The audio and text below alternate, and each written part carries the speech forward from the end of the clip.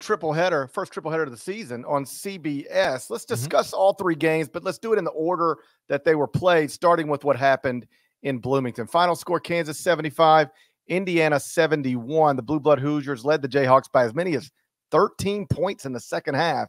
Seemed on the verge of a nice win that could have maybe got them in the top 110 of the net, but Kansas outscored Indiana 38 21 in the final 15 minutes to win the game by four. And I hope folks who listen to Friday's podcast um, were really listening closely because what did we tell them, dead leg? We said you can't give a blue blood program six points at home, regardless of the circumstances. Can't do it. Can't, can't do, it. do it. Even a blue blood program that ain't finished top 25 at KenPom since 2016 can't give them six points at home. Easy it. win. Easy win. Why did the odds makers make it so easy for us, dead leg? okay. 75 71, Kansas wins. Uh, I don't know. Six points. We saw it the whole way coming there. Uh, although we did have some, we had some scouters, we had some scouters and deptics. we had some doubters and skeptics going to that, but we knew it the whole way. Uh, KU did not take its first lead in this game, by the way, until 450 was remaining. That was like four minutes after Kevin McCullar Jr. picked up his fourth foul with eight and a half and change to go. When that happened, I thought Indiana should have this. And to be clear, Indiana had this game. It had it on multiple occasions, multiple opportunities, hanging around alligator blood. They let Kansas hang around, hang around. Do not let a Bill Self coach team hang around on you, or you could be on the wrong end of an outcome. And that's exactly what happened to Indiana. Uh, Trey Galloway had uh, he's he had probably the best performance that's going to be won't be forgotten among you know Indiana fans, but in the aftermath of such a loaded weekend, man, guy went for 28, had so many huge buckets, shot so well from the field. He did wind up following out down the stretch there. It wasn't just him, like Mackenzie Mgbako. Let me just, you know, put some shine here on Indiana fans. Uh, so, you know, not every single one of them gives us a one star review. If you wouldn't mind, GP, I'll give a little love to the Hoosiers here. Mgbako, he is he is providing, in my opinion, uh, the the progressive steps in his game that that staff knew that they would get, but it was going to take a little bit of time. I think there's there's plenty of good there. Uh, Kel'el Ware is just you need him to be the dude in games like this, and unfortunately, he was three of twelve from the field. He had uh, 15 boards, but if you watch the game, like it would have been Mgbako, Galloway that were stepping up. Uh, Reneau had a couple of spots there. They didn't have what they needed down the stretch, and I wanted to see Kel'el Ware really step up and help try and take the, over that game. Galloway said, no, this game is mine. Um, for Kansas, it was just, it was steady, steady, steady. And this is, they continue to do this without having a lot of help from the bench. In fact, in this game period, there was nine total bench points. Kansas had six, Indiana had three. Dickinson went for 17. He had a, I mean, he's got that like tiny drop step baby hook that is almost automatic. Uh, he is going to be good on a nightly basis to get you six or eight points from that alone. Harris uh, playing the point had a good, had a couple of good moments there as well and then McCullar, who hit like so many foul shots that really uh, like uh, compounded to help Kansas get this game. Um, it was a really nice effort overall. Uh, Indiana misses out on just a huge resume opportunity here. Um, they're going to have more, but you had Kansas, number two team in the country, in your building, and you were you were leading this team by 13 at one point. It was up to 50 to 37 in this game, and you let it you let it slip away. Um, even in spite of that, they shot well for themselves. Indiana, they took 16 threes, they made six of them. That's actually a decent clip for them. Uh, too many turnovers. Uh, it's not surprising when Kansas wins and goes on the build, uh, goes into someone else's building and does it. So there's no major headline there. Just by nature of the win, they're going to be in position to potentially be number one on Monday. To me, it was about the opportunity loss for Indiana. We'll see how they handle this moving forward, and if it is something that they can really put behind them, or if we don't look back and say, "Damn, they had it." And uh, and their season's been kind of curling sideways since. I don't know if that'll happen or not. I do know if Ware had played a little bit better, Indiana wins the game. It didn't. Four point loss. KU took it in the end. I I watched the game in the press room, media room at State Farm Arena. The whole time, I'm just like you. I thought it was just one of those days. You see this all the time in college basketball, and it becomes clear quickly, like you're just losing this game. Yeah, you're the better it team. felt it. It, it felt, felt it that for, way. It, 35 minutes, it felt yes. like Indiana was winning the game. It yeah. felt like, man, I'm looking at it. I've seen this a million times. I know which team is better, but I know which team's winning today. Seen it a million times. And that's what that felt like the entire game. And I guess the biggest uh, kryptonite to that feeling is Bill Self because he can let you feel that way. I bet Hubert Davis felt that way a few years ago in a national championship game. right? He's he like you the biggest kryptonite to that recipe of oh man, the home team underdog is about to win this game is Bill Self because he'll just snatch it from you. And that's what he did here. I thought Dajuan Harris was great in the final minutes. Um, he he scored with 416 left, gave Kansas a lead. They never trailed after that. He had four points, two assists in the final 416. He just looked like he was in control of okay, like part of Kansas taking that in the final minutes was Dajuan Harris being in charge of that in in the final few minutes. Um, so Kansas is now 10 and 1. That lone loss to Marquette. They've beaten Tennessee, Kentucky, UConn, Indiana. They're going to close their non-league schedule. They got games against Yale, Wichita State.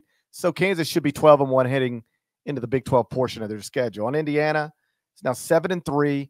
They have zero wins over top 40 KenPom teams, but nothing but losses to like top 20 KenPom teams.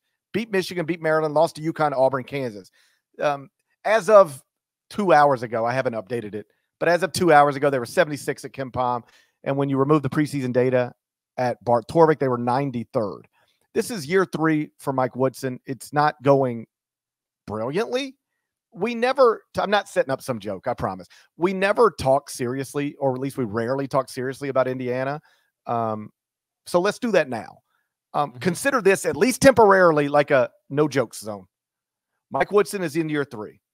He went 21 and 19 in the Big Ten in his first two years, made the NCAA tournament both seasons. That's good, but only made it past the round of 64 once. Failed to make the Sweet 16 in either year, even though IU was a four seed last season. How do like seriously? How is the Mike Woodson thing going from your perspective, and where do you think it goes from here?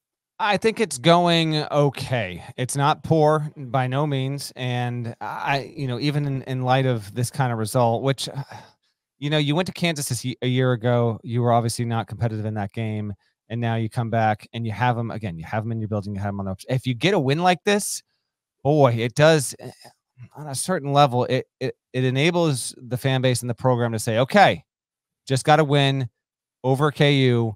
We're eight and two instead of seven and three was we were able to bounce back because remember they're coming off a, a game a, a, week ago where they got just uh, you know drop kicked by Auburn. Um, but you don't have that yet. Uh, the Big Ten is going to be ripe for Indiana if it is a team of of real legitimacy to to make some noise because Indiana is not going to play a relevant game here. Uh, for a few weeks at minimum, so we'll we'll have to look up and pop our heads out of the water and see where they're at. It's going okay um, from everything you want to include fan engagement, wins and losses, qualifying for the NCAA tournament, uh, how they've done in the portal, how they're doing in recruiting. Uh, it could certainly be worse. Um, I think Indiana fans might be caught in a little bit of, and I'm not going to speak on behalf of the fan base, but having heard some feedback here and there, please, I'm begging you don't. I would like to. Um, they are probably caught in this weird thing where um, I don't know how many are rooting for the likes of a Dusty May to take that job whenever it comes open, but FAU got a win today to help you know help its resume little by little. They beat St. Bonaventure, and it's very uh, possible to see how Dusty May, after not taking a job last season, if a good one opens, and there could be multiple that where he is a top target, um, that he chooses to take it. And if you're Indiana and Mike Woodson's guiding a program, and you're a fan of that of that uh, of that team, um, are you wanting to stay on this course with Woody for another two, three, four years? It might work out well for you. I'm not saying it won't, but I think they're caught in this. And sometimes college fan bases get caught in this where like they know what they've got, they don't hate it, but they might not like. How many Indiana fans think that they've got a Final Four in the future if Mike Woodson's guiding the program? I think that's a fair question to ask because, frankly, they're aching to get back to that kind of level there. And I don't know. I'm kind of, you know, I'm using aloud. I know you're going to ask me the question, GP, but I, I would, if you didn't ask me to grade him, but I would say the Mike Woodson thing so far feels like a B minus, which is far from a failing grade, but they're not, they're not thriving, and that that's for sure. And uh, it would be a lot different had they been able to pull this one out, in my opinion. Yeah, I, I thought year one was fine. I thought, like, again, all jokes aside, like I'll get back to doing it when I when it's time to do it. But for now, I'm being serious. I thought year was fine. Year one was fine. I thought year two was a slight disappointment. Um, you know, to be picked by a lot of people to win the Big Ten and and not even I know they finished high in the standings, but they finished far from the top. High in the standings, but like there was a gap between the Big Ten record of Purdue and their Big Ten record. So they didn't really sniff the Big Ten title. And then this season, we'll see where it's going, but the computer numbers are not good where they should be. And for what it's worth, KenPom has Indiana going 9 and 11 in the Big Ten and entering the Big Ten tournament at 17 and 14. That won't be good enough. And so then the question becomes, and I don't even know if this is a real question. This is just me and you talking. But okay, Louisville opens and they're going to target Dusty May. And you're Indiana and you say, and, and Dusty's agent tells you, you could have him now. But if not, he's going to go to Louisville. But you could have him now. Does that influence you? Yeah, I mean that's a that that stuff happens all the time. It does. It does. And it's it feels like it, like hey, you if know, you fire your yeah. coach and open your job, we'll take your job. Otherwise, right. we're going here. That happens. Or or if you're Louisville, you try. I'm not saying that Louisville would hire Dusty May. I'm not saying he would get top of the list. But if it happened like that, um, it does get reversed on you where Indiana passes. He takes the Louisville job and then it opens in two years, and then and then Indiana's got the got the car. I don't know how it will play out, but um, we'll see. It, it, I'll, I'll I'll I'll put a bow on it like this. I, I and I and I tweeted this early on Saturday, and part of this is because CBS does college basketball on television better than anyone. Uh, the fact that you had we had a, a, lot of great matchups today, but only a couple that were road on campus environments, and just to see highly ranked Kansas and an Indiana team that was ready to go, ready to play, and a fan base that was there. The students were on break. It did not matter. They had the stripe out there. That looked great. And I love seeing Indiana engage and involved in like really in a competitive game there. They couldn't pull it out in the end, but at least it's at a it's at a state right now where there's still like genuine enthusiasm behind the program, even if they're not ranked in the top 25 on a weekly basis and they're still trying to get there. Um, I still think there's there's room for optimism under Woodson.